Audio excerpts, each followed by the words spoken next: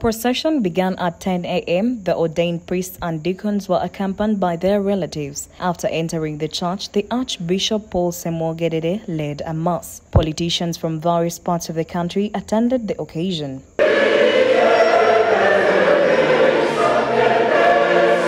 Among those ordained are Muga Frank Kakande, Brian Luyombia Mchivi, Cyrus Habomugisha Robert, Kaiwa Sande, Paul Kafero, Tony Sechimpi, Francis Luboneza, and Gideon Matovu all have taken vows to God after passing through various stages, and the Archbishop urged them to stick to the faith.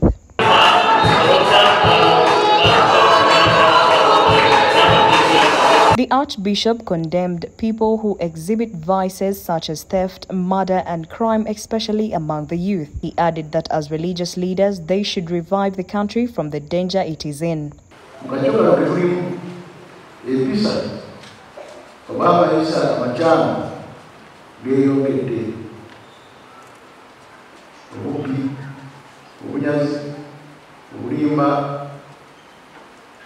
obubwenyofu obwenzi n'ebikolebyo ebijja obutemu bingi nyo ate n'ensi erowooza tiwakyayaakyali mutuufu bonna be bamu imwe mubwegaamu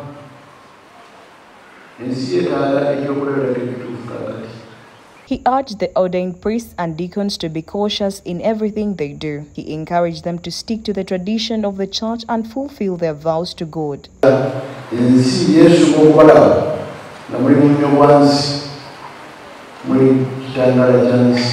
Some of the politicians who attended the Mass also added their voices to the Archbishop's message and condemned the corruption in the country.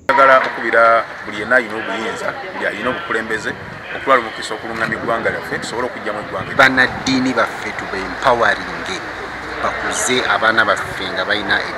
Relatives of the ordained priests and deacons urge them to remain religious and pledge to support them at all times. The ordained priests and deacons thanked all those who have been there for them during this journey. lubadde lugendo luwanvu naye kati eri byonna tetugenda bijjukira tulina kwebaza webaza mukama olw'essanyu olw'ekitiibwa kituuse mu maka gaffe mwesigwa eri katonda kuba ne katonda atubeereddewo tafunye buzibu bwonna mu kusoma kwe olw'okubeera nti katonda Report compiled by Mastura Navuga for the news.